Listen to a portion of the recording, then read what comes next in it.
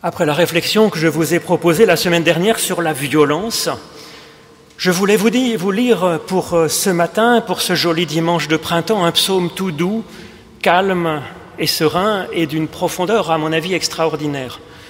Le plus court de ces psaumes de pure confiance en Dieu que les croyants aiment tant depuis des milliers d'années, les psaumes 23, 121 et 131, peut-être, que je vais vous lire ce matin. Et en même temps, ce psaume, voilà, plein d'humilité, plein d'intelligence et d'une relation intime avec Dieu, me semblait bien aller, voilà, avec euh, ce que Sacha exprime, Sacha qui vient de recevoir donc le baptême. Alors voilà ce psaume, psaume des montées de David. Éternel, loin de moi d'avoir un cœur arrogant, loin de moi d'avoir des yeux hautains, loin de moi de cheminer dans des choses trop grandes et trop merveilleuses pour moi. Au contraire, calme et élevé en mon être, je suis comme un bébé sevré sur ma mère. Mon être est sur moi comme un bébé sevré. Israël attend vers l'Éternel dès maintenant et pour toujours. Alors je vous propose de chanter maintenant ce psaume puisque c'est sur une mélodie que nous connaissons. Donc c'est le psaume 131 dans notre psautier français. L'orgueil n'abuse plus mon cœur. Les, les trois strophes de ce psaume 131.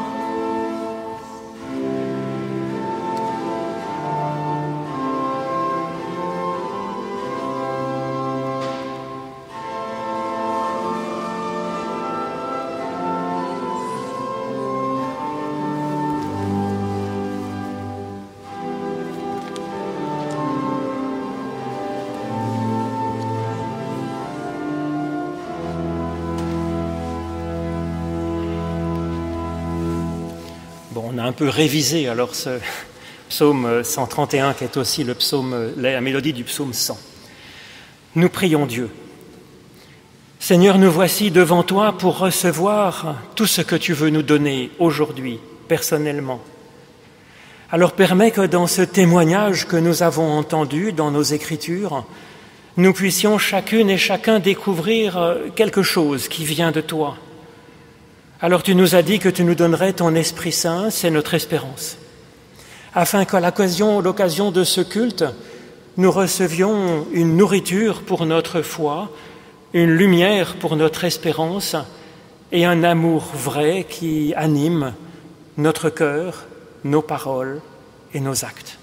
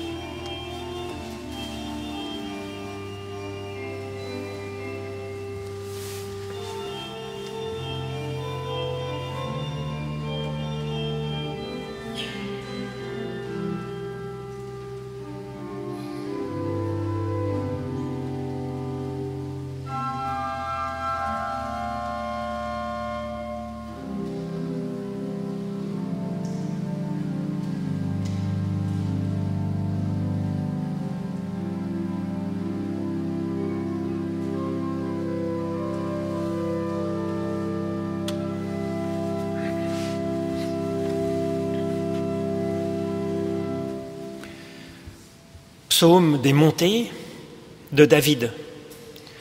Alors ces quelques mots d'introduction de ce psaume nous donnent déjà deux points essentiels qui forment le moteur même de la démarche proposée par le psalmiste. La méditation est source d'élévation, premier point. Alors nous avons ici un chant de confiance en Dieu, d'autres psaumes sont une lamentation, une repentance, une colère même, c'est souvent aussi une louange joyeuse, mais en tout cas, cette sincérité finalement de la méditation placée devant Dieu est, en elle-même, par cette sincérité, une incroyable source d'élévation. C'est le premier point. Et puis le de David n'est pas simplement une anecdote rendant hommage à l'auteur de cette prière. Ces deux mots, l'eau David, littéralement signifient du bien-aimé, puisque c'est le nom même, c'est le sens du nom de David. Et donc à la base même de cette démarche, il y a ce sentiment d'être le bien-aimé de Dieu. Et c'est cela qui rend possible cette méditation sincère, confiante, pour oser dire à Dieu ce que l'on espère, espérer peut-être c'est être entendu. Cela motive cet élan et cela l'autorise. Il n'y a donc plus aucune crainte à ne pas savoir prier, ni même à dire ces quatre vérités à Dieu, cela crée une amitié finalement avec Dieu qui donne au psalmiste l'envie de l'appeler, d'appeler Dieu par son petit nom, Yahvé, l'Éternel. Ce nom que les croyants donnent dans la Bible à, Dieu, au sujet de leur prière finalement, quand ils sentent ou quand ils espèrent cette tendresse qui nous anime. Éternel, Loin de moi d'avoir un cœur arrogant, loin de moi d'avoir des yeux hautains, loin de moi de cheminer dans des choses trop grandes ou trop merveilleuses pour moi. Alors traditionnellement, et nous l'avons encore entendu dans le psaume que nous avons chanté, l'Église a vu dans ces lignes un appel à l'humilité, enfin à l'humilité pour les croyants, peut-être pas à l'humilité pour l'Église. Mais cet appel à l'humilité, ça me semble un peu court finalement, si vous voulez.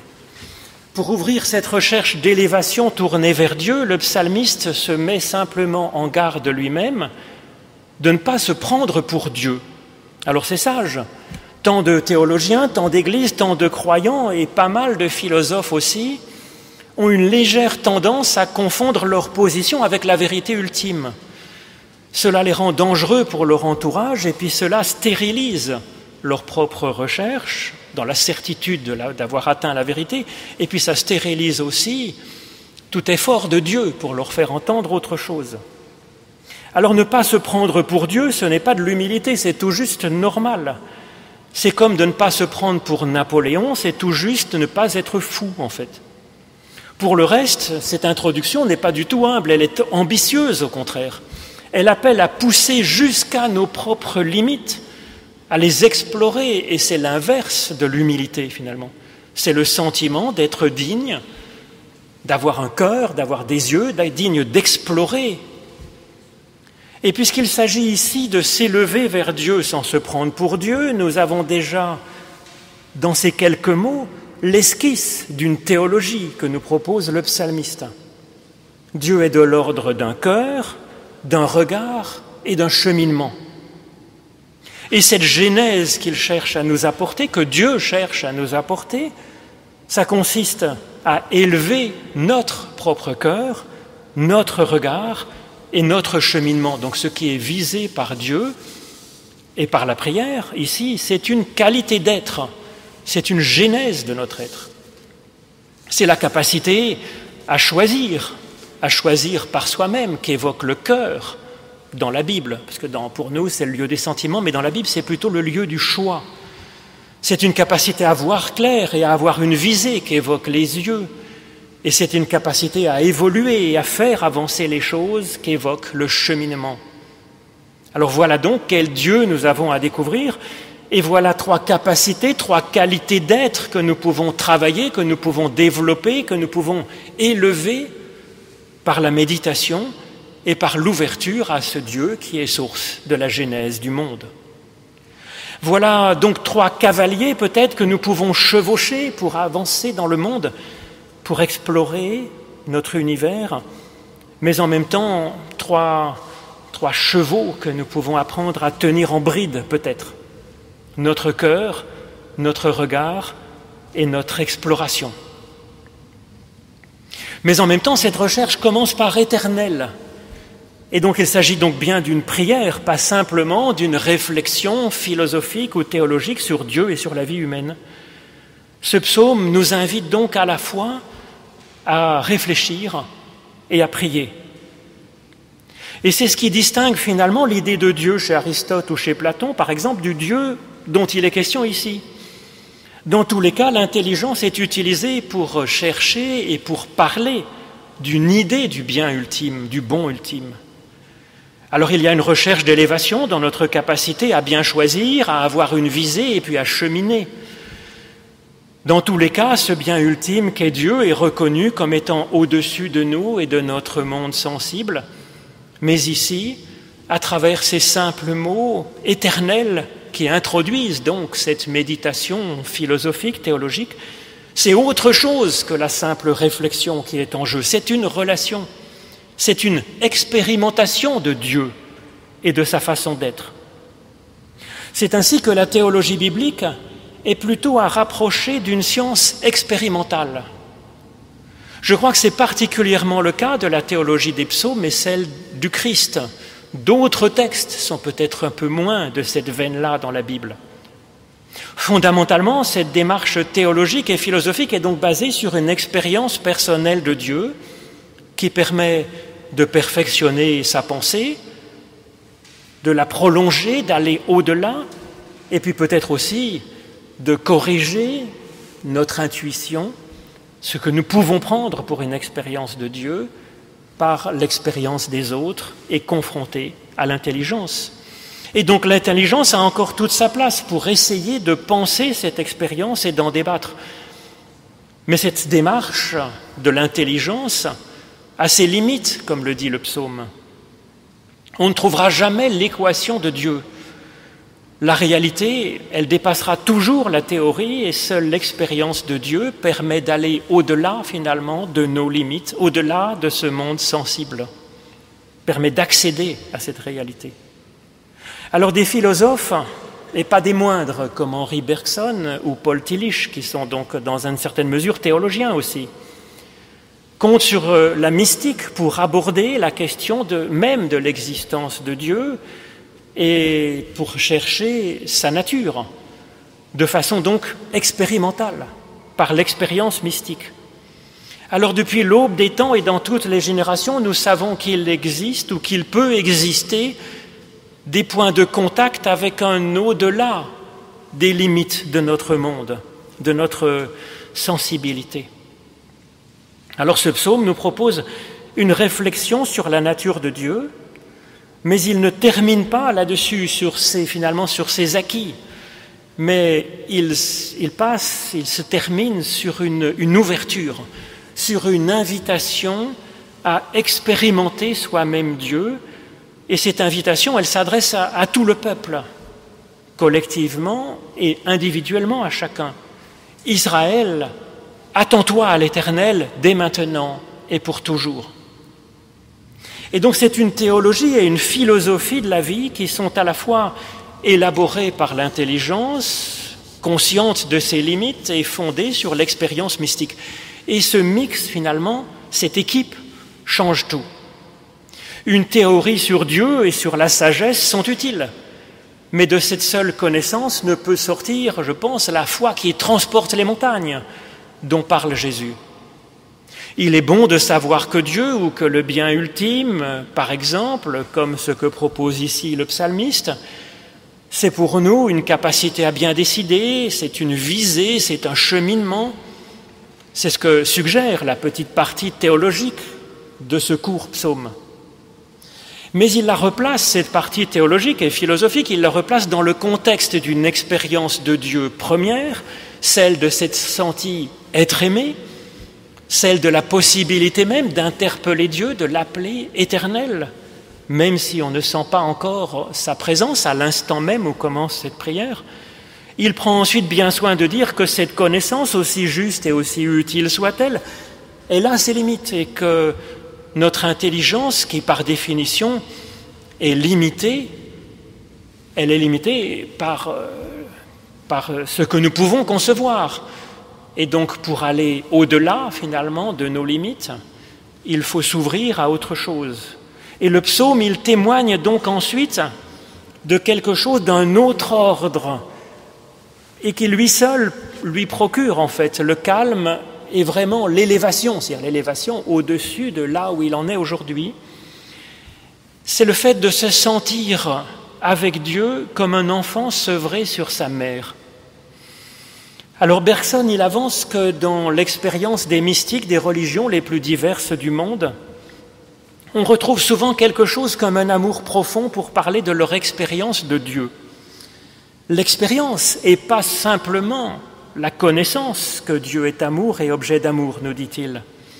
Et de ce double amour, le mystique n'aura jamais fini de parler, ajoute-t-il, car sa description de, ce double amour est toujours euh, chez le mystique interminable, parce que la chose à décrire est inexprimable, et donc dans un certain sens, le mystique veut remplacer cet inexprimable par une quantité, ce qui est parfois maladroit sans doute, mais néanmoins, le mystique, il a envie, il est motivé et il cherche à se faire, euh, à exprimer finalement ce qu'il a pu recevoir.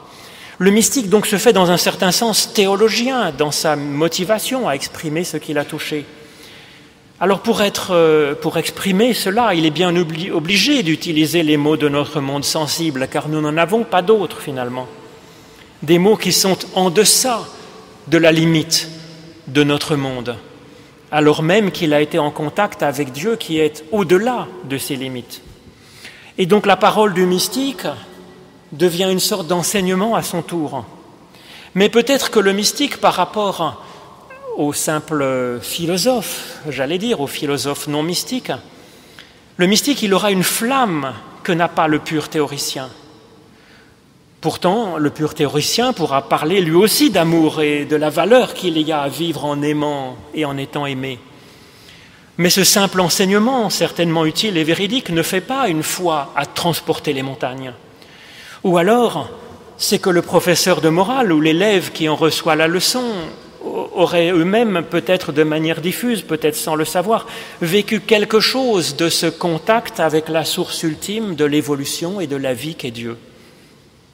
C'est pourquoi ce psaume présente bien, je trouve, la chose, la démarche dans sa complexité. Il donne un enseignement théorique sur Dieu et sur la vie humaine, et puis il essaye ensuite d'en témoigner comme il peut de ce que lui a apporté cette expérience mystique passée. Et puis il a l'intelligence aussi d'inviter son, son élève, j'allais dire, d'inviter le lecteur à tendre lui-même, au moins par l'espérance, de vivre quelque chose de ce contact et de s'y préparer, parce que seul là, dans ce contact, le lecteur pourra atteindre la vérité même non pas dans l'écoute de l'enseignement. Le problème de la mystique, c'est que malgré les images utilisées pour en parler, l'expérience mystique ne peut pas se partager finalement, bien sûr. C'est l'avantage de la théologie. La théologie et la philosophie s'adressent à l'intelligence et donc, comme tout enseignement, cette connaissance est donc accessible à quiconque veut s'en donner un peu la peine, quitte à ce que ce soit à un certain degré, je pense, de schématisation, à plus ou moins grands traits. La personne, alors, elle peut entendre ce que dit l'enseignement, y adhérer plus ou moins, et elle peut en tout cas comprendre de quoi il est question et en débattre. Alors cela peut donner une base, mais c'est intéressant, c'est positif, à condition d'en savoir les limites, que ce n'est pas Dieu que l'on tient, quand on a quelques-unes de ces connaissances proposées par Dieu, par le théologien, le philosophe ou même par la Bible. La théologie est utile comme peut l'être une revue de vulgarisation finalement, comme Science et Vie Junior peut instruire et motiver un enfant peut-être à devenir ensuite un chercheur, un chercheur en laboratoire.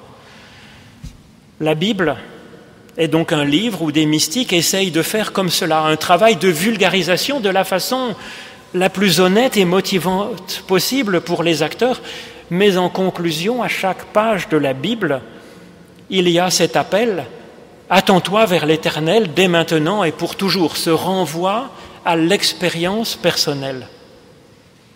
Cette pédagogie biblique nous y prépare, non pas en nous étourdissant, en nous faisant ainsi entrer dans une transe peut-être qui fait suspendre ou abandonner l'intelligence, comme si c'était un acte de foi de renoncer à une bénédiction de Dieu qu'est l'intelligence, mais au contraire en nous menant à la limite élevée de notre intelligence et, en sentir que c'est une limite effectivement et avoir comme une perception ou une intuition là de quelque chose de bien plus grand qui soulève tout cela, qui la structure qui l'anime et qui nous aime en fait.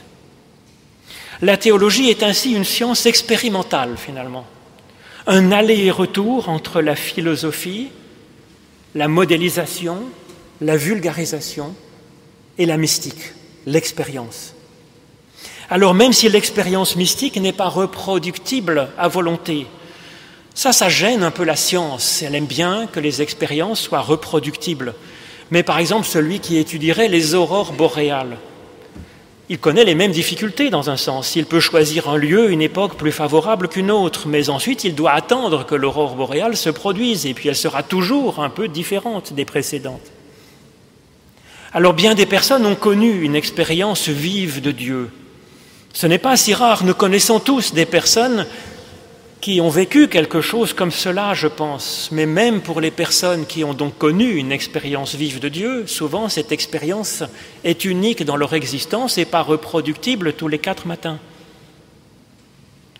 C'est souvent une expérience unique dans son intensité qui a changé pour cette personne quelque chose de fondamental, qui l'a marqué à jamais et qui lui permet, même si elle ne revit pas un moment de cette intensité, de reconnaître ensuite dans sa vie quotidienne les traces d'un contact avec Dieu. Alors pour une large proportion de la population mondiale, dans toutes les religions, toutes les cultures, l'expérience mystique est vécue d'une façon plus diffuse ou par moments qui sont peut-être discernables a posteriori, comme ce que dit Jacob quand il dit Dieu était là et je ne le savais pas. Ou comme les pèlerins d'Emmaüs qui disent a posteriori Notre cœur ne brûlait-il pas à l'intérieur de nous-mêmes Parfois, c'est en lisant peut-être un psaume, par exemple, témoignant d'une expérience de Dieu, qu'une personne qui ne se croit absolument pas mystique du tout va sentir comme une résonance profonde à ce témoignage d'une personne qui témoigne de son expérience mystique, une résonance personne dans une personne, dans quelqu'un d'autre qui, qui, pense ne pas du tout être mystique, qui pense n'avoir aucune expérience du contact avec Dieu, mais s'il y a cette résonance profonde, c'est bien que cette expérience existe en lui.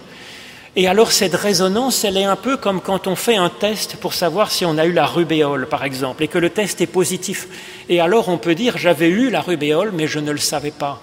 Et dans un sens, en lisant donc ces textes de la Bible ou en entendant quelqu'un témoignant de sa foi, en ressentant comme un écho, oui, nous pouvons dire quelque chose j'ai eu déjà vécu quelque chose de l'ordre de cette expérience mystique. Alors bien sûr, il y a quantité aussi de fous complètement allumés qui vivent des transes et des visions, et cela peut faire peur. Mais comme le fait remarquer Bergson, il existe une quantité de fous qui se prennent pour Napoléon, mais ça n'empêche que Napoléon existe et qu'il avait bien raison de se prendre pour Napoléon. Et donc oui, il existe des folies mystiques, mais toute mystique n'est pas de la folie. Alors c'est juste effectivement une, expérience d'exception au sens où elle nous fait toucher l'au-delà de nos limites. C'est un de ces états d'exception que nous pouvons connaître d'autres façons, par exemple, comme le sentiment d'être amoureux, ou comme peut l'être un moment de grâce en écoutant de la musique ou en regardant une peinture si on est sensible à l'art. Cela, ces expériences finalement, au-delà simplement du disciple, de ce que l'on peut en exprimer peuvent néanmoins donner envie d'en témoigner, d'en témoigner imparfaitement, mais sans pouvoir non plus peut-être reproduire cette expérience, ni encore moins obliger la personne à qui l'on parle de vivre cette même expérience lui-même. Alors le psalmiste, comment il fait pour parler de son expérience de Dieu? Il en parle d'une façon théorique par de la philosophie, de la théologie, et il enseigne ensuite d'en rendre compte, de rendre compte peut-être de son émotion, pas seulement de sa pensée, émotion de la rencontre avec Dieu, avec une image. Cette expression, elle est utile pour affiner peut-être notre expérience, peut-être pour la valider, pour être sûr que ce n'est pas justement un moment de transe mystique complètement fou, mais que ce soit une véritable expérience de Dieu. C'est donc utile de la confronter, je pense, par l'intelligence à ce que d'autres ont pensé et puis de l'exprimer. Le psalmiste, il reconnaît dans son expérience quelque chose dont, dont témoignaient d'autres théologiens, dont il a la trace dans la Bible. Mais en même temps, pour lui, c'est quelque chose d'infiniment plus personnel, plus impliquant. Cela touche à son existence même, peut-être, l'existence de son être, de sa valeur possible d'être aimé. Peut-être il l'exprime comme un lien unique et vital à travers cette image du bébé contre sa mère. C'est cela qui lui vient. Effectivement, pour parler de quelque chose d'indicible, il faudrait forger des mots, inventer des concepts qui n'existent pas finalement, puisqu'ils ne sont pas de notre monde sensible. Alors voilà ce qu'il nous dit. Je suis calme et élevé en mon être comme un bébé sevré sur sa mère.